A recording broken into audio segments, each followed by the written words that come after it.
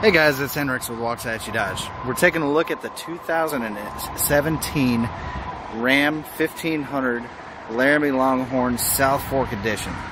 You got upgraded uh, seat interior package with the interior bezels. You got the upgraded wheels, and of course the Longhorn grill, brand new for 2017. Hemi engine, side steps, beautiful. Half ton with LED lights on the back, and that big old Longhorn stamp back there.